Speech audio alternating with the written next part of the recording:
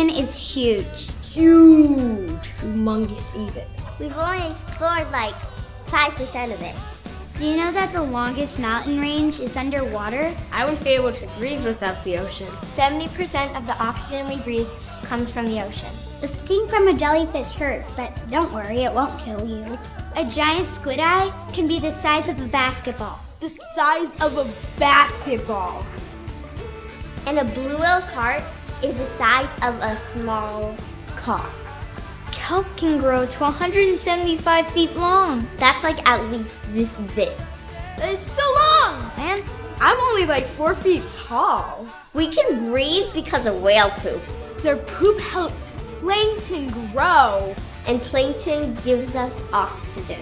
Thanks for your poop, whales! Thanks for your poop, whales! Elephant seals can hold their breath for two hours. That's like two hours longer than I can hold my breath. Okay, get ready for this one. Lobsters pee out of their face. Lobsters pee out of their face. How weird is that? It's so freaking weird! A narwhal is a whale with a horn. Those are real. I like the ocean, it's pretty cool.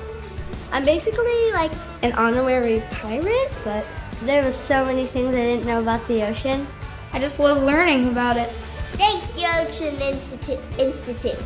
Thank you, Ocean Institute, for teaching us about the ocean.